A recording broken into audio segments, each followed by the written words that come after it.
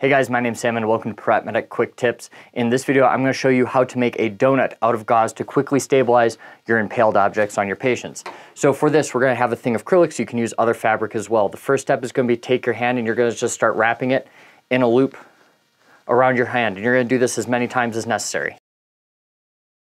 All right, once you've gone around a number of times to get the adequate thickness, we're going to take this gauze and we're going to start feeding it through the loop and we're going to be wrapping what we just made.